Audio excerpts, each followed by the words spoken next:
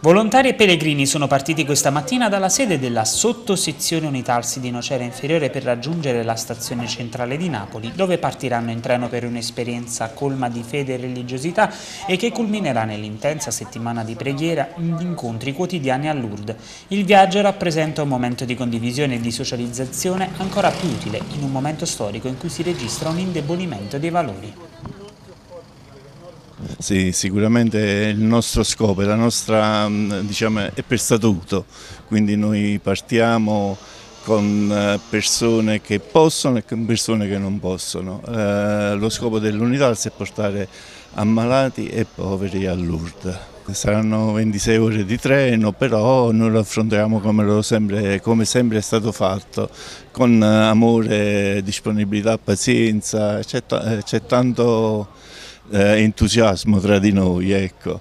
Però eh, io tengo a precisare che il nostro pellegrinaggio importante diciamo, è quello che noi facciamo ad aprile con il treno bambini, quindi portiamo dei bambini a Lourdes, li andiamo a piare in ospedale, a casa ed è una cosa meravigliosa. Altre volte è andato abbastanza bene, ci auguriamo anche quest'anno, però quest'anno mentre gli altri anni duravano 24 ore di viaggio, adesso dura 27-28 ore.